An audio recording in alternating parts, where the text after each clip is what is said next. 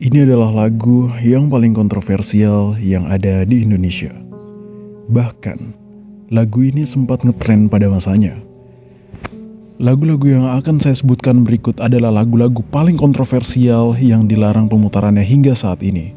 Dan disclaimer bagi kalian semua, saya di sini tidak akan memutarkan lagu-lagu itu di sini karena ter takut terkena copyright yang pertama dan yang kedua juga ya kalian bisa mencarinya sendiri di tempat lain.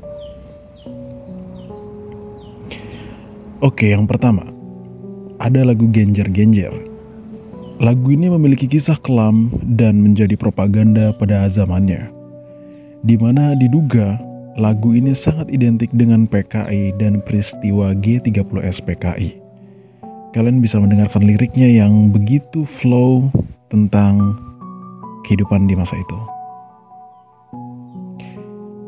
Yang kedua, lagu Mars Romusa pada tahun 1943. Di lagu kedua ini, ini adalah lagu yang diciptakan oleh pemerintah Jepang untuk mempropagandakan masyarakat Indonesia agar bekerja lebih giat dan mau berkorban demi pemerintahan Jepang di kala itu. Oleh karena itu, lagu ini sedikit banyaknya memiliki masa kegelapan bangsa Indonesia pada saat Romusa.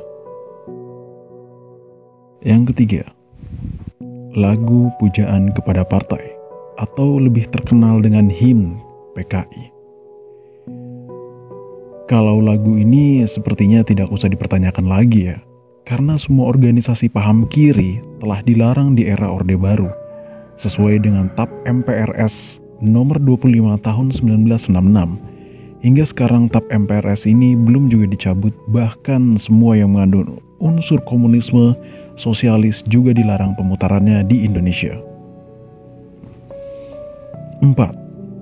Lagu internasional versi Indonesia atau lebih dikenal dengan lagu buruh. Lagu ciptaan Pierre de Gaiter ini masih menjadi kontroversi sebenarnya untuk pemutarannya di Indonesia. Karena lekatnya lagu ini dengan negara-negara paham komunis dan sosialis. Jadi saya juga kurang tahu ya, bagaimana menurut pendapat kalian?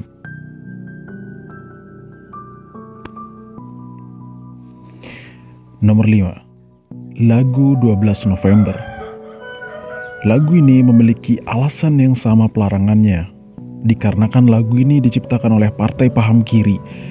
Dan, ya kalian pasti tahu sendiri, kalau paham kiri udah pasti akan diberantas, sampai akar-akarnya. 6.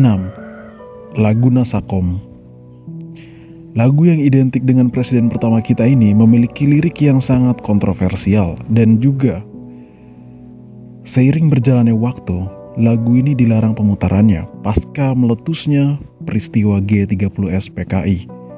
Apalagi pada saat Orde Baru pemerintahan membabat habis yang berhubungan dengan komunisme. Jadi guys, itu adalah enam lagu yang paling kontroversial di Indonesia dan semuanya tentang berpaham komunis. Ya sesuai dengan TAP MPRS tahun 1966 nomor 25 tadi bahwa semua paham komunis atau semua paham kiri itu semuanya dilarang peredarannya, perizinannya, pemutarannya di Indonesia. Jadi ya sampai kapan pun lagu-lagu ini akan tetap dilarang cuy. Jadi kalau kalian penasaran silahkan like dan subscribe Dan juga jika kalian ingin menanyakan sesuatu silahkan langsung komen aja di bawah ini Dan jika kalian suka dengan bos dokumentari pada saat video ini dibikin. Jadi ya kalian bisa komen dan sampai jumpa.